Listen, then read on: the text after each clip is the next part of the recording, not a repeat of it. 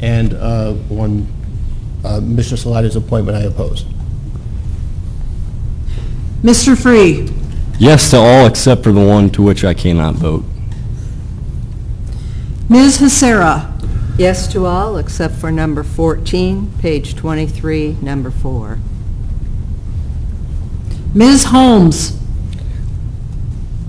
Yes to all, except I abstain from number eight, nine, and 12. And with respect to number 14, page 23, number four, I vote no.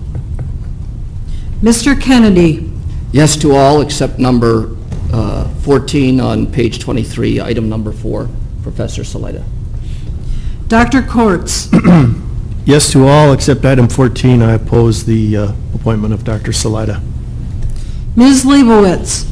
Yes to all. Mr. McMillan?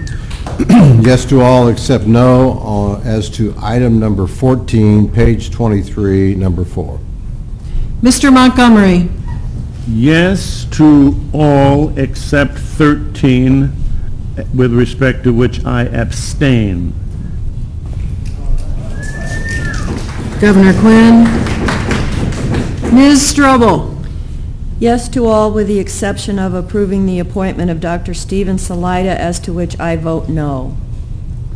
Thank you. Chairman Kennedy, could I just make a really quick comment, just to clarify something? Sure.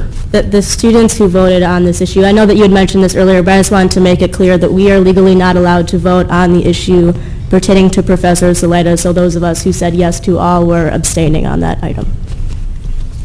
That's as I understood it, so thank you for clarifying that. Okay, is that the last of the uh, voting issues? Okay. Um, President Easter, do you have any final comments? I have none at this Okay. point, thank you. Is there any old business, the board, any new business?